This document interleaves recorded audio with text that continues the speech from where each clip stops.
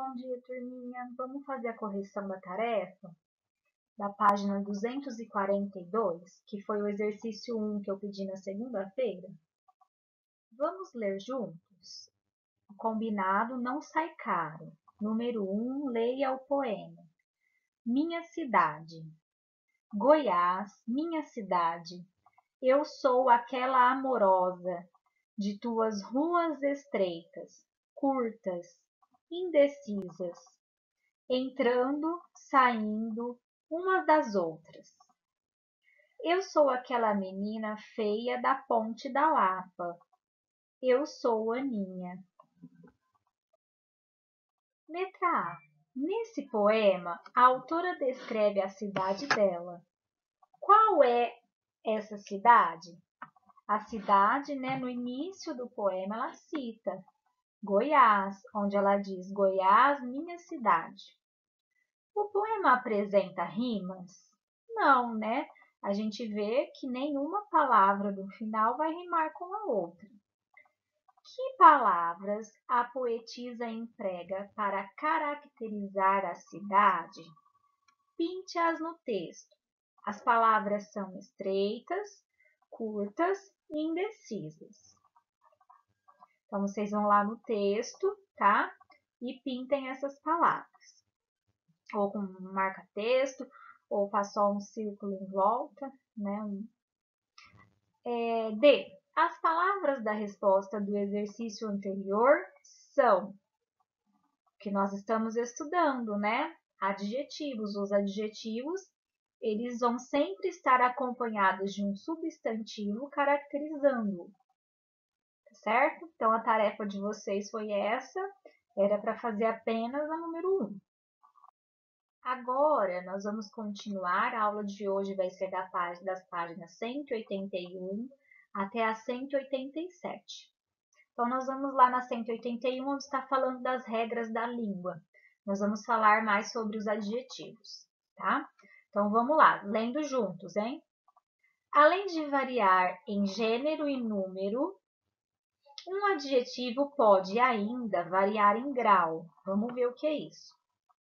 O grau superlativo, olha a palavra super, vem de muito, demais, né?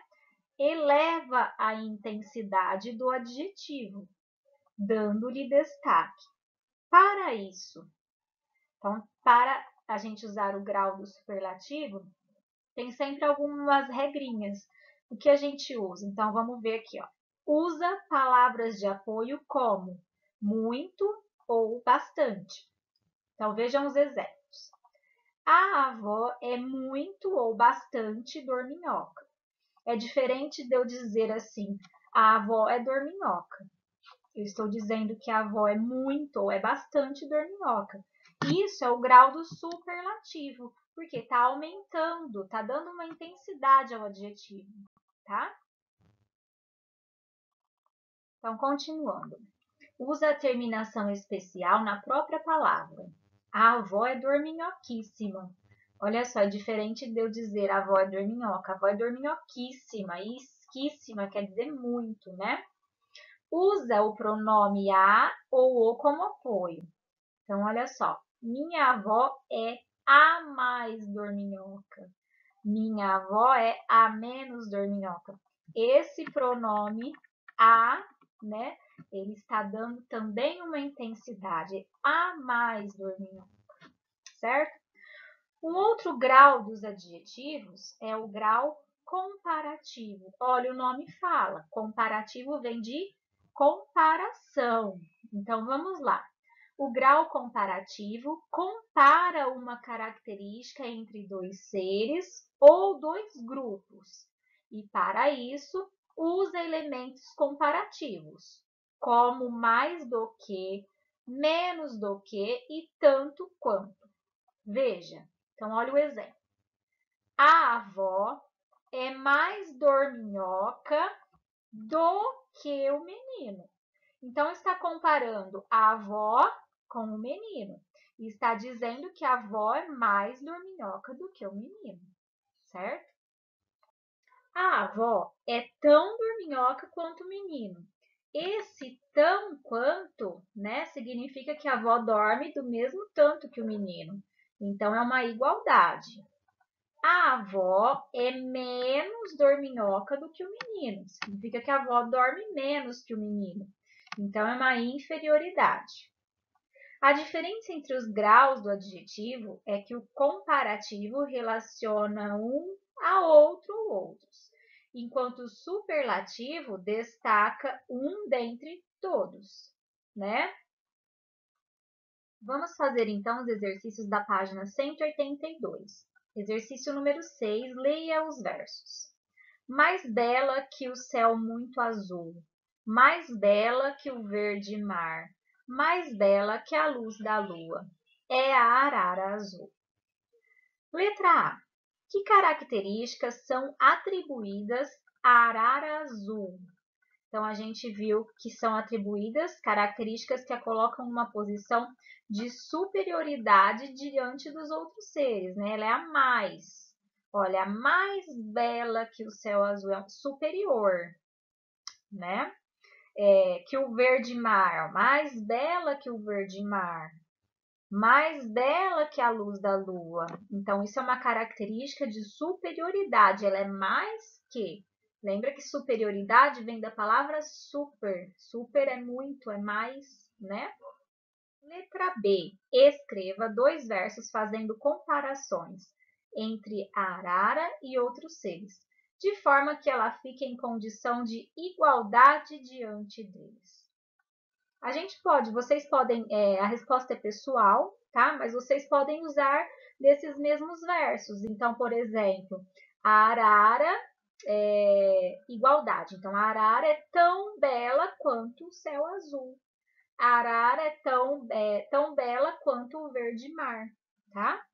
Agora, letra C. Escreva dois versos sobre a arara, de forma que ela seja colocada numa situação de inferioridade diante de outros seres. Lembrando que inferioridade é menos, superioridade é mais, inferioridade é menos, igualdade é igual, certo? A resposta também é pessoal, mas de novo vocês podem usar desses mesmos versos. A arara é menos bela do que o céu azul, tá? E assim por diante. É só uma, um exemplo, mas vocês podem criar os que vocês quiserem. A letra D, por fim, escreva uma frase sobre arara empregando um adjetivo no grau superlativo. Então, o que poderia ser? A arara é belíssima né? Por exemplo, tá? Agora na página 183. Os adjetivos são muito importantes em tudo que escrevemos. Eles dão maior beleza ao texto e contribuem para que o leitor possa imaginar como são os personagens que estão sendo criados, os lugares, os alimentos, etc. Quanto mais detalhes, isto é, quanto mais bem descritos esses elementos em um texto, maior é a possibilidade de envolver o leitor. Para comprovar isso, leia o texto a seguir com atenção. Então, vamos ler junto, hein? Eu daqui, vocês daí. A abobrinha é um alimento rico em nutrientes. Por isso, pode ser um ótimo aliado para quem busca uma alimentação saudável e uma maior qualidade de vida. Alguns dos benefícios que você pode conseguir com seu consumo são melhor digestão, diminuição do nível de colesterol, prevenção do câncer, ação anti-inflamatória e muito mais. Como esse é um legume com um sabor bem suave, ele pode ser combinado com outros ingredientes para pratos muito gostosos. Em algumas dessas opções, ele é usado para substituir massas no preparo de pratos. Por isso, a variedade é bem grande. Liste todos os adjetivos usados no texto, lembrando que eles sempre estão acompanhados de um substantivo, né? Então, são rico, ótimo, saudável, maior, melhor, bem suave, muito gostoso bem grande. Copie o texto anterior, eliminando todos os adjetivos. Os adjetivos nós escrevemos agora, nesse exercício anterior. Então, esse, essa resposta vai ser um pouquinho grande, porque nós vamos copiar o texto, só que nós vamos eliminar os adjetivos. Então, como fica? A abobrinha é um alimento, por isso pode ser um aliado para quem busca uma alimentação e uma qualidade de vida. Alguns dos benefícios que você pode conseguir com seu consumo são digestão, diminuição do nível de colesterol, prevenção do câncer, ação anti-inflamatória e muito mais.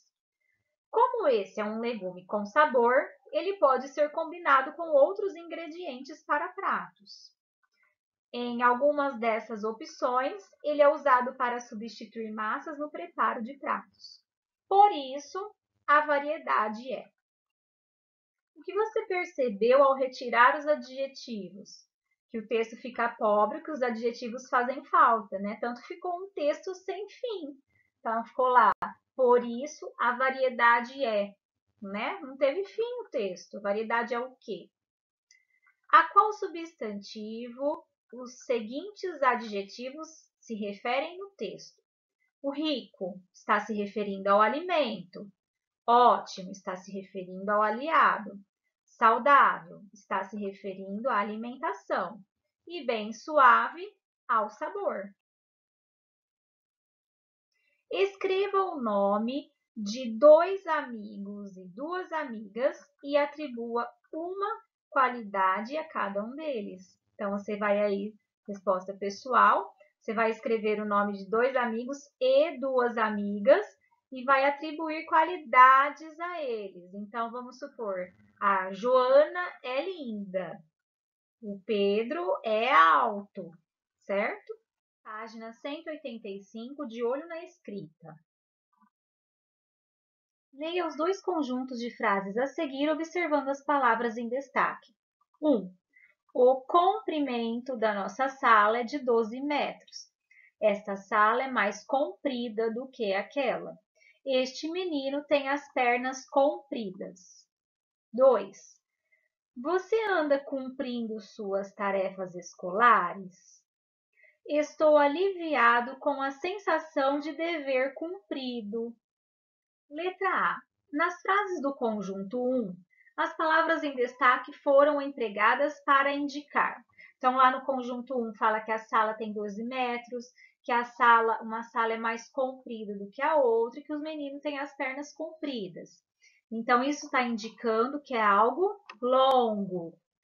B. Nas frases do conjunto 2, as palavras cumprido, cumprindo e cumprido foram empregadas para indicar que o objetivo foi atingido. Por exemplo, né, estou aliviado com a sensação de dever cumprido. Eu cumpri o meu dever, eu atingi o meu objetivo. Página 186, as regras da língua. As palavras comprimento e cumprimento, embora muito parecidas na grafia, grafia escrita, possuem significados diferentes. É muito importante prestar atenção para evitar o trocadilho, ou seja, empregar uma em vez da outra. Comprido e comprimento com o são usadas no sentido de tamanho, extensão, e dimensão, por, por exemplo. O corredor parecia mais comprido naquele tempo. O comprimento da sala é de 12 metros. Comprido e comprimento com o relacionam-se à execução de uma tarefa, lei ou obrigação. Por exemplo, o homem cumpriu seu tempo de serviço e se aposentou. E também a ação de cumprimentar, saudar alguém. O homem recebeu os cumprimentos do patrão. Aqui um exemplo para vocês observarem, ó. Comprimento com o, né? Está relacionado à medida de extensão, uma régua. E o cumprimento com o, né? Uma saudação, as pessoas se cumprimentando. Exercício 2 da página 168. Complete as frases usando uma das palavras dos boxes. Então, a gente vai é, colocar as palavras cumprimento ou cumprido, cumprimento ou comprido. Em cumprimento à lei, todos os idosos têm prioridades nos serviços públicos. Cumprir a lei é obedecer à lei. O comprimento daquela saia estava inadequado para a reunião das senhoras, o tamanho da saia, né? O comprimento do véu da noiva impressionava, ia do altar até a porta da igreja, quer dizer, era muito longo. O cabelo comprido revelava que aquele senhor preservara o estilo jovem. Se ele tivesse cumprido sua tarefa a tempo, já teria sido dispensado. Recebi seus cumprimentos na certeza de que fiz o melhor que pude. Tá? O exercício 3, escreva quatro frases empregando cumprimento e comprimento. Pode fazer duas com cumprimento e duas com comprimento, tá? Vocês vão criar a resposta pessoal. Você sabia que há outras palavras parônimas? O que são palavras parônimas? Isto é, que possuem um significado diferente, mas são parecidas na escrita, na grafia e na pronúncia. Veja alguns casos. Ó, descrição ou descrição. Trocou só o E com o I, né? Descrição é o ato de descrever e descrição é qualidade de ser discreto. Tráfico e tráfego. Tráfico é comércio ilegal, desonesto e tráfego é trânsito. Serrar com C e serrar com S. É fechar e cortar. Cauda com L, cauda com U. Cauda com L é líquido, molho, e cauda com U, rabo, parte de trás do avião. Alto com L, grande, elevado. Alto com U, ato público, peça de teatro, peça processual. Forme frases empregando duas das palavras parônimas que aparecem no box Você Sabia. Então, você vai escolher duas palavras daquelas parônimas que a gente acabou de ver e você vai criar duas frases, tá? A tarefa de casa de vocês é lá dos complementares, página 243. Os exercícios que faltam lá, o 2, 3, o 4 e o 5, tá certo? Bons estudos, um beijo!